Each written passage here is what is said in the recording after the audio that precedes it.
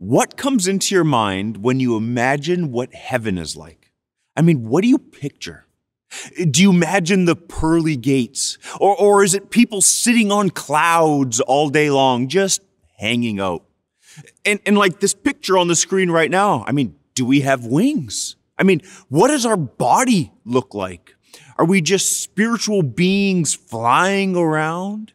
I mean, at the end of all things, at the end of all of humanity, whenever that will be, what will eternity in heaven be like?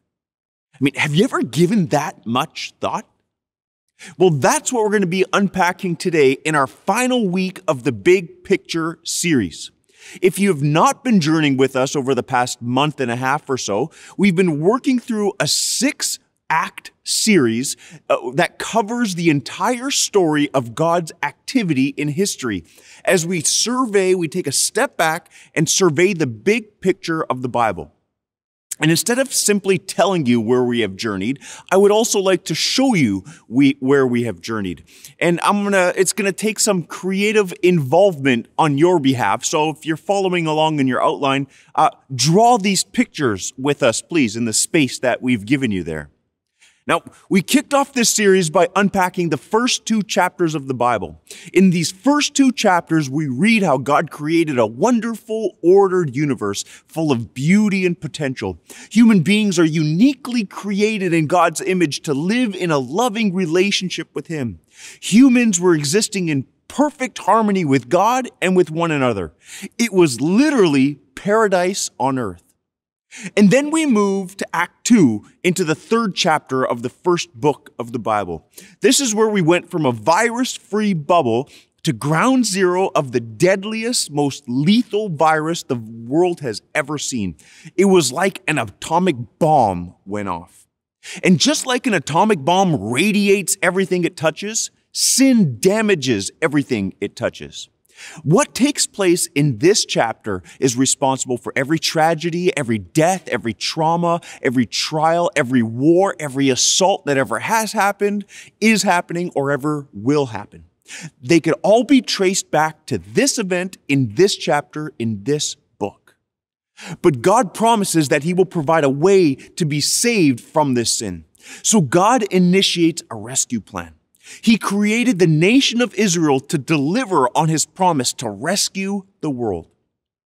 But just like us, the nation of Israel faltered and stumbled along the way until finally the person of Jesus, who is the Son of God, took on human flesh and lived a perfect life on earth and died once and for all for our sins. He died so that you and I could be forgiven of our wrongdoings and be in right relationship with God. Jesus not only died for our sins, but also resurrected from the grave, proving that he was who he said he was. And then in Act 5, the message of the risen Jesus was taken all over the known world, and the church as we know it was born. And that is where we are right now in human history which leads us to Act 6 of the Big Picture series, which we've entitled Redemption is Complete. Now, I'm not quite ready to tell you what to draw in that box just yet, so you're just going to have to wait a few moments. But Act 6 is part of the story that has not happened yet. This is part of the story that will happen at some point in the future. You see, God initiated redemption in week 3 in Act 3, but it's not yet complete. It's been initiated, it's in progress, but it's not yet complete. So, what does complete redemption look like? I mean, if you're a Christ follower, what are you to look forward to? What is promised for the future of every Christ follower?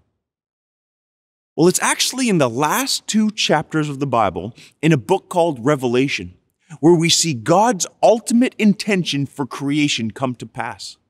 It's in the last two chapters of the Bible when we see God's final purpose unveiled. The Apostle John, one of the closest followers of Jesus, he's being punished for his faith by the Roman authorities, and as a result, he's exiled onto the island of Patmos, which is just off the west coast of modern day Turkey. While exiled there, he's allowed a vision of a new heaven and a new earth entirely cleansed of sin and cleansed of evil. The Apostle John is given a vision of the world which we currently live in, which sin currently is dominating, give way to a renewed creation where God fully rules. I, I want to read this vision to you. John explains, Then I saw a new heaven and a new earth, for the first heaven and the first earth had passed away, and there was no longer any sea. I saw the holy city, the new Jerusalem, coming down out of heaven from God, prepared as a bride, beautifully dressed for her husband. Here we see a new Jerusalem, which represents God's people who are living in God's presence, coming down from heaven to earth. Now, if you're following along in your outline in your Bible, underline the words coming down. Here we have this picture of Christ followers in heaven coming down to earth to be with God. We have this picture of heaven coming down to earth. And keep that in mind because we're going to talk about that in a few moments. But this vision continues. John says, And I heard a loud voice from the throne saying, Look, God's dwelling place is now among the people, and he will dwell with them. They will be his people, and God himself will, will be with them and be their God. Now, what we just read has always been the goal of God's relationship with humanity. The goal has always been for us to be close to God, for God to dwell with us, for God to be first in our lives, for God to rule and reign in our lives. I mean, that's how God originally created humanity to walk closely with, to dwell with, to be in relationship with. And in this new heaven, in this new earth, he will wipe away every tear from their eyes, John explains. There will be no more death or mourning or crying or pain, for the old order of things has passed away. And so here, we hear of a world where God removes sin and all its effects on the world. And God comes to dwell in this renewed earth with his creation. So the question needs to be asked what does a completed redemption look like? What does that look like?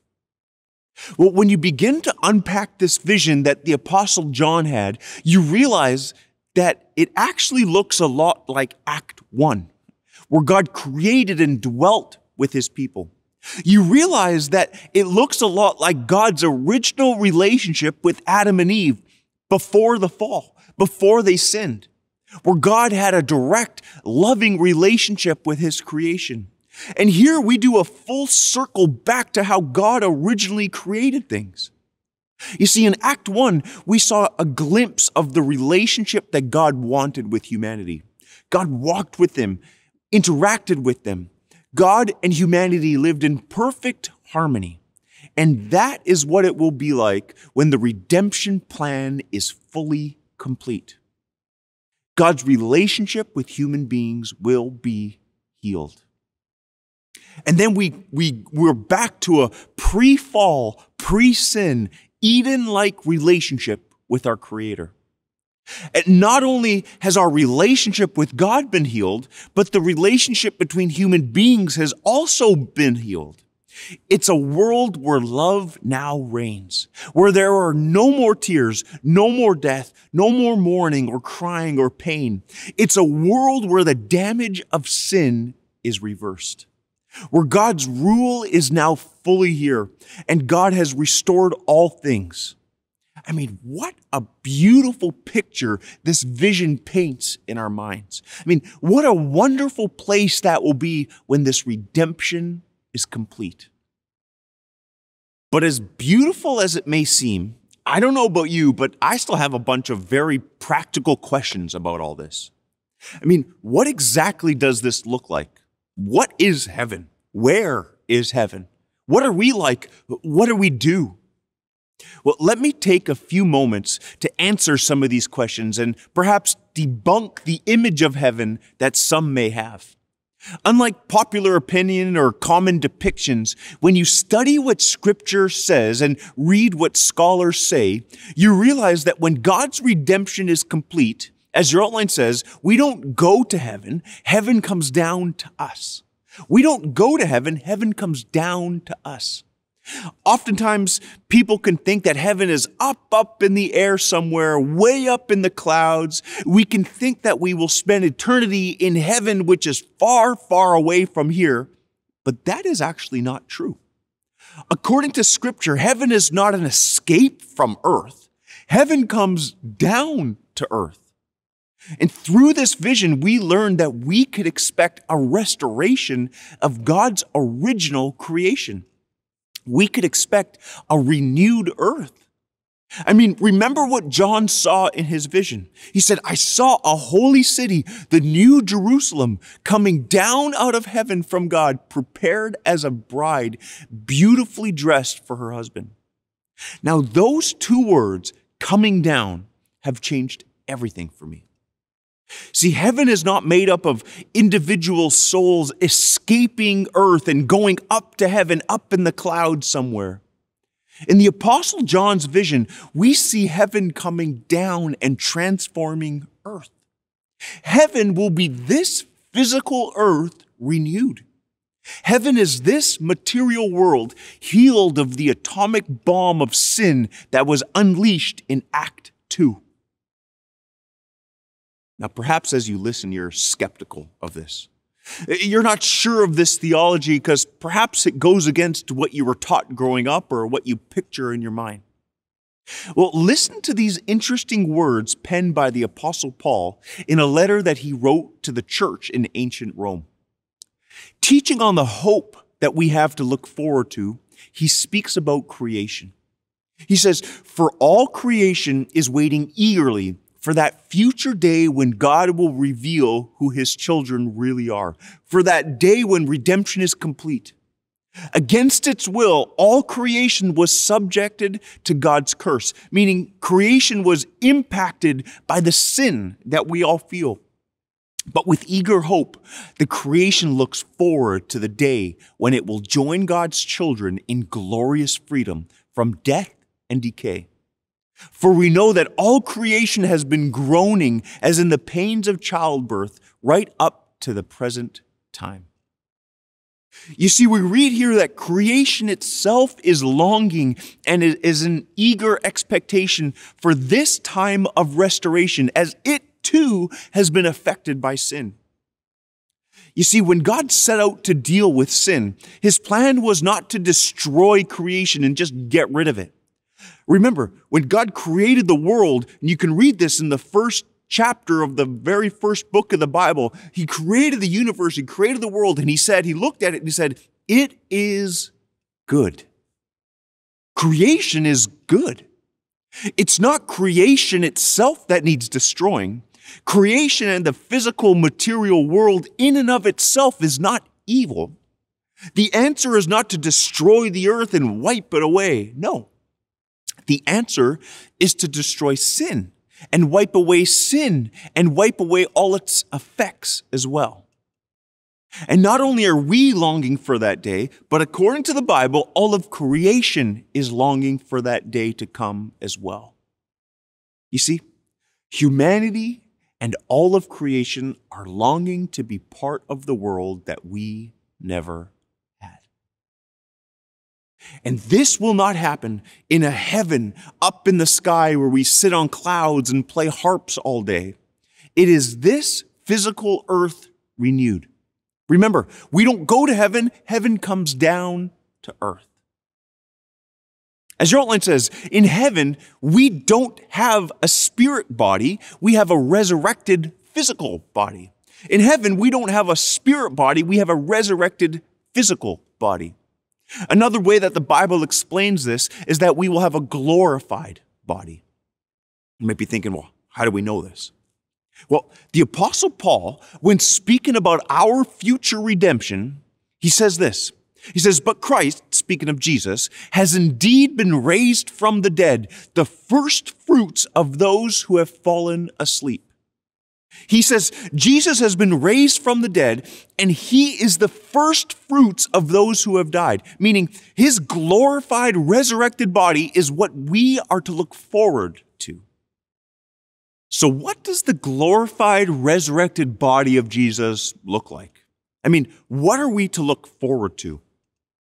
When Jesus resurrected from the grave, he appeared to his disciples many times.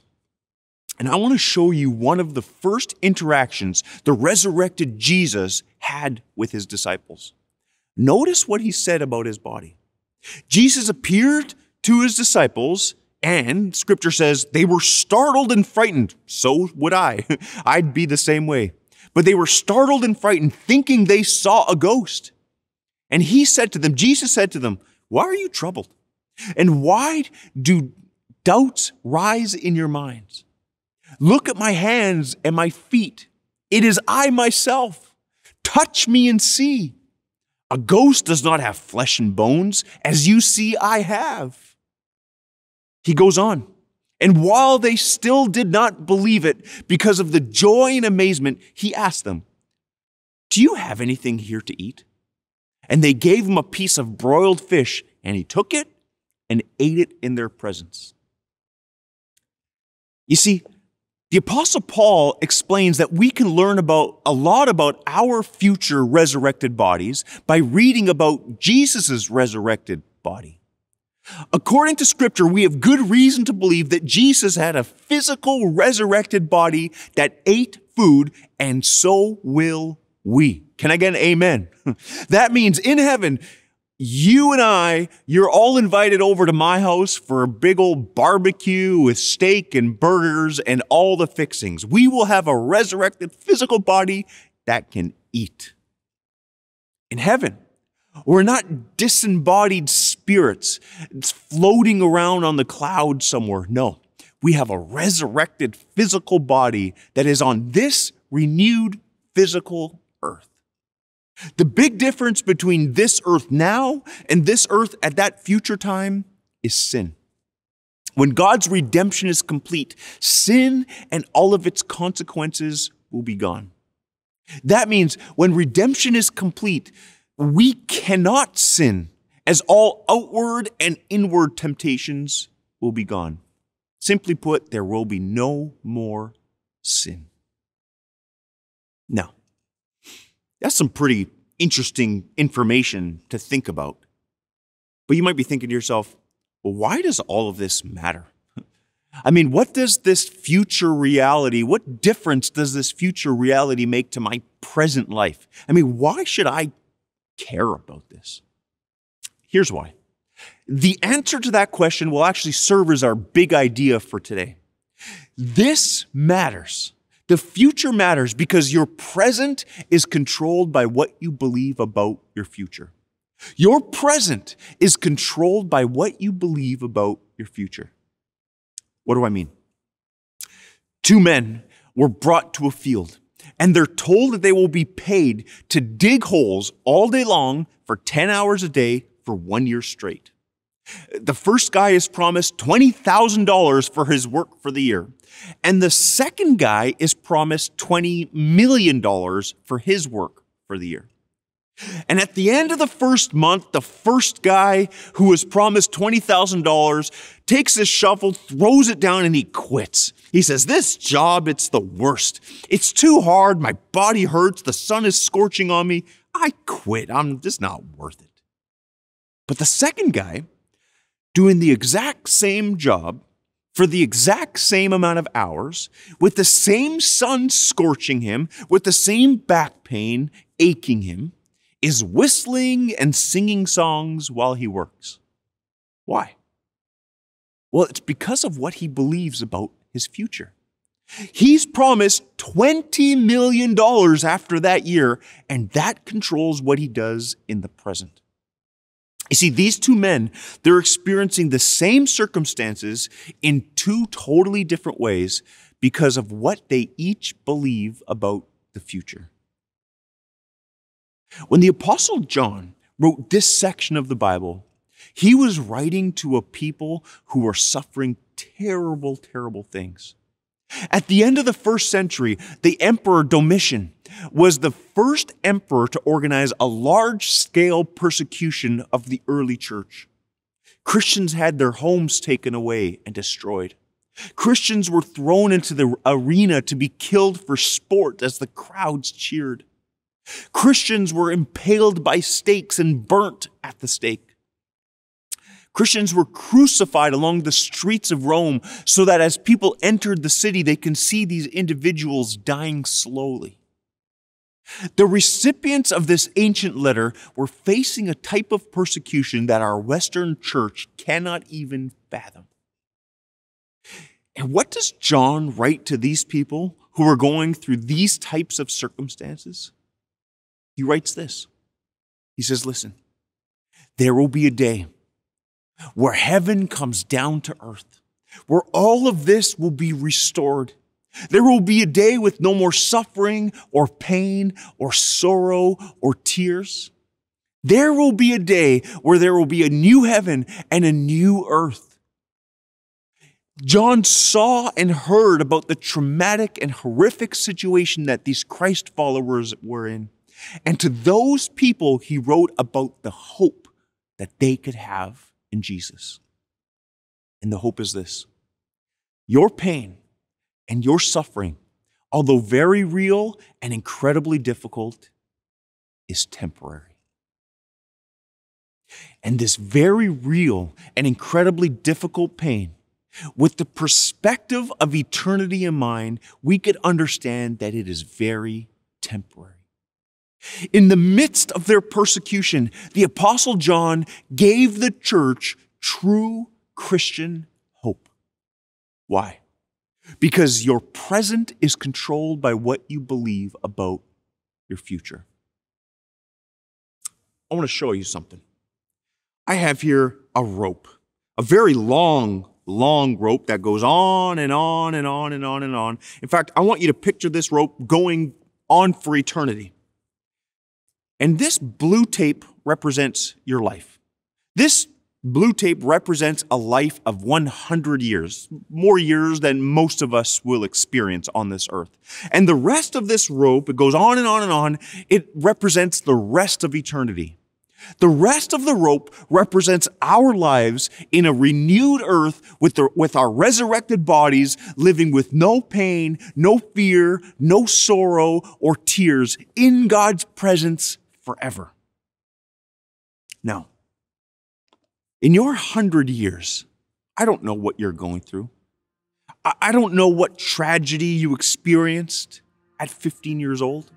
I don't know what mental health struggles you experienced at 32. I don't know what trauma you faced at 55. I don't know what difficulties you have at 78. But here's what I do know when you have eternity in mind, when you take a step back and you understand the big picture of what the Bible teaches about our present lives and about our future hope, these trials and these difficult days, perhaps this difficult life that you have right now, are but a blip on the radar of eternity. In view of eternity, with the big picture in mind, all these things in our lives can be seen as light and momentary. Remember, your present is controlled by what you believe about your future. Two people could experience the same circumstances in their lives in, to- in two totally different ways because of what each believe about the future. The Apostle Paul was no stranger to this persecution, to a difficult life. In fact, he says this regarding our current pain and suffering. He says, Therefore, through all of this, we do not lose heart. Though outwardly we are wasting away, though our bodies are breaking down, yet inwardly we're being renewed day by day. For our light and momentary troubles are achieving for us an eternal glory that far outweighs them all.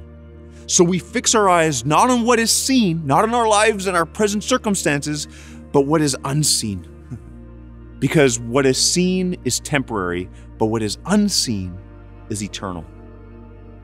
I mean, this was a man who was beaten and shipwrecked and tortured for his faith. And he says, Those things in my life are light and momentary troubles in light of eternity. In view of the big picture, your present is controlled by what you believe about your future. According to the Bible, you can have hope for the future. And all six acts of the Big Picture series have been pointing to this one truth you could have hope in Jesus. You could have hope in Jesus. Why can we have this hope? Well, because we know that when God's redemption is complete, at, at the end of human history, everything that sin has once wrecked, God will restore. And understanding that truth, understanding that big picture, changes everything about how you experience life right. Why don't you bow your heads with me for a moment as I pray and close? As I pray, I want to ask and answer one more simple question. Perhaps you're sitting here and watching this and thinking to yourself, how do I experience this restoration? How, how do I experience this hope that you're talking about? Well, it's by believing in the life, death, and resurrection of Jesus Christ. It's by accepting His forgiveness into your life, by asking Him to forgive your sins, and beginning a spirit to spirit relationship with God. If that's you, I simply want to pray for you and with you. And I would just ask if you want to begin that relationship with God. Or perhaps you have had that relationship before, but as you find yourself now, you're kind of off the road, you're off the rails. I would encourage you to rededicate your life today. Simply agree with me as I pray on your behalf. Our God and Father, we thank you for the hope that we can have in you. We thank you that you sent your Son Jesus to die and that through him we could have forgiveness of our sins. God, we want to accept this truth into our life and we want this to transform every part of our lives. I want to begin my walk and my relationship with you today.